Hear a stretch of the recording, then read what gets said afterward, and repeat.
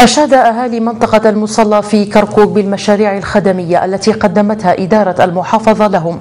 من خلال تبليط الشوارع وإنشاء الحدائق ومد شبكات الصرف الصحي مؤكدين أن منطقتهم لم تشهد مثل هكذا خدمات منذ عقود خلت.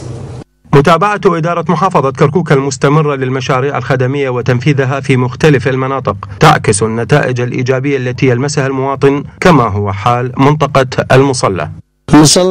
خدمات من الأول لم تشهد منطقة المصلى أي خدمات منذ زمن ولكن خلال هذه السنتين حدث تغيير كبير في الشوارع من من تبليط الشوارع والأرصفة آه، في كل مكان وفي كل منطقة.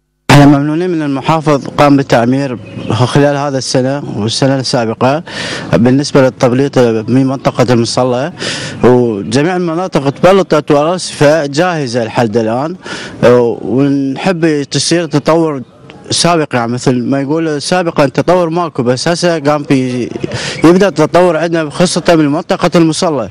هذا هو الشارع الرئيسي المحاذي لمنطقة المقابر في المصلى. كل سكان كركوك يعرفون كيف كان هذا الشارع وما هو عليه اليوم. المصلى من أقدم المناطق في مدينة كركوك وقد عانت الإهمال وسوء الخدمات لعقود من الزمن ولكنها اليوم تنعم بالخدمات لاهتمام إدارة المحافظة بما تحتاجها تلك المناطق. Mantakamız çoxdan tərk olmuş idi. Yəni istirdıq doğrulansın mühafaza yolundan. Hamdolsun ulaşdılar mühafaza yolundan. Cədələrimiz xir oldu. Ee, çox məmnunuq mühafazadan. قبل ذلك كانت أحياءنا مهملة ولكن الآن أصبحت جيدة جدا ونحن نقدر جهود إدارة المحافظة لما قدمته وما تقدمه باستمرار.